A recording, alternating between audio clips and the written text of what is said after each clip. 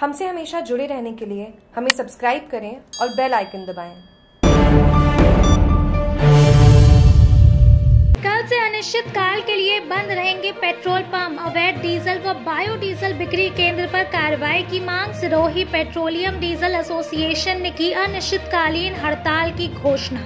Sirohi petroleum dealers association की ओर से 2 अक्टूबर से मांगों के समर्थन में अनिश्चितकालीन हड़ताल की घोषणा की गई है। जिसके चलते कल से ज़िले भर के सभी 118 पेट्रोल पंप अनिश्चित काल के लिए बंद रहेंगे।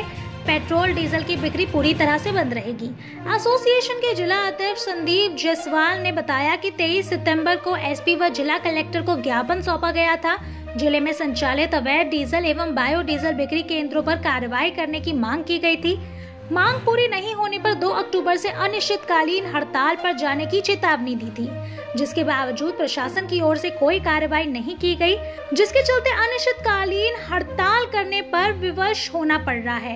एसोसिएशन के जिला अध्यक्ष इसवाल के अनुसार ज़िले में कोटियार, बायोडीजल इंडस्ट्रीज़ व विस्वा खनिज इंडस्ट्रीज़ स्वरूपगंज रीको में संचालित है। बायोफ्यूल प्राधिकरण राजस्थान के नियम अनुसार बायोडीजल बनने के लिए लोकल राजस्थान मार्केट से ही कच्चा माल लेकर बायोडीजल बनाया जा सकता है। जबकि इन दोनों फर्म के द्वारा गुजरात से बायोडीजल लाकर राजस्थान में अन्य जगह सप्लाई किया जा रहा है, जो कि गैर कानूनी है, जिससे राजस्थान को राजस्व नुकसान रहा है। ये फर्म सिर्फ़ राजस्थान में पंजीकृत है। ये माल गुजरात से खरीद कर राजस्थान में बेच रही है, जो कि बायोडीजल न होकर अवैध डीजल व बेस ऑयल है। इसमें राजस्थान सरकार को बहुत ज़्यादा रेवेन्यू का नुकसान हो रहा है। सिरोही के पेट्रोल पंप संचालकों व उनसे जुड़े हुए कार्मिकों को आजीविका चलाने में भी बहुत भारी समस्याओं का सामना करना पड़ रहा है। ज्ञापन के अनुसार दोनों फर्मों पर अवैध रूप से संचालित डीजल व बायोडीजल केंद्रों पर संयुक्त रूप से कमेटी गठित कर उनमें ऑयल कंपनी के अधिकारियों को भी शामिल कर कार्रवाई करने की मांग की गई थी। जिसवाल के अनुसार पिंडवाड़ा एसडीएम एवं डीएसपी के नेतृत्व में साबरी लॉजिस्टिक्स पर अवैध डीजल रखने संबंधित कार्रवाई करवाई गई थी, जिसमें ऑयल कंपनी के अधिकारी भी मौजूद थे, यूनियन के पदाधिकारी भी थे।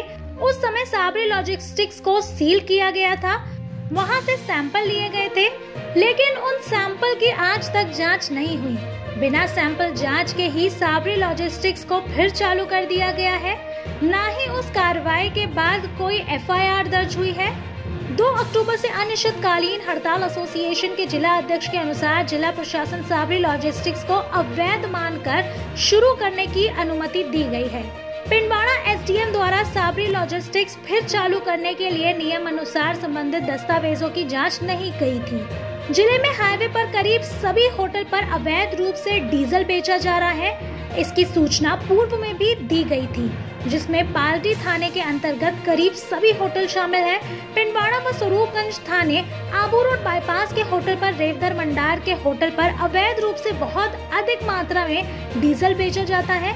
पूर्व में पुलिस को एसपीडीए द्वारा सूचना देने पर भी आज तक कोई कार्रवाई नहीं हुई है। कार्रवाई नहीं करने, सिरोही ज़िले में संचालित अवैध डीजल व बायोडीजल बिक्री केंद्र पर भी कार्रवाई नहीं की गई है। ऐसे में पूर्व में दी गई चेतावनी के तहत ज़िले के पेट्रोल पंप 2 अक्टूबर से बंद रहेंगे। जिला प्रशासन सिरोही के समस्त विभागों के सभी उपखंड कार्यालय व समस्त सरकारी कार्यालय को डीजल, पेट्रोल की आपूर्ति नहीं की जाएगी। बंद रहेंगे ज़िले भर के 118 पेट्रोल पंप। 2 अक्टूबर से हड़ताल के चलते ज़िले भर के सभी 118 पेट्रोल पंप अनिश्चितकालीन के लिए बंद रहेंगे।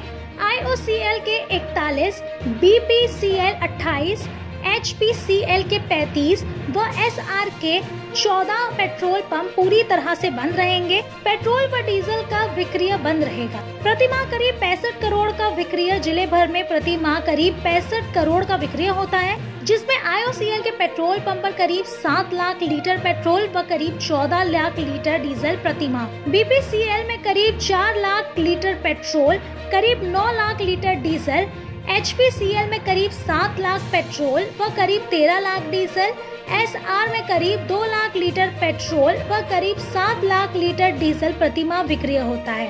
इस तरह प्रतिमा सभी 118 पेट्रोल पंप पर करीब पैंसठ करोड़ रुपए का ऑयल विक्रय होता है। वहीं प्रतिदिन करीब सवा दो करोड़ रुपए का ऑयल विक्रय किया जाता है। फ़िलहाल अनिश्चितकालीन हड़ताल के चलते दुपहिया, चौपहिया, टैक्सी, कार चालकों को परेशानी होगी। वहीं सरकार सरकारी वाहनों के संचालन में भी दुश्वारियों का सामना करना पड़ेगा। जागरूक टीवी की आबू रोड से मनोज चौरसिया की रिपोर्ट।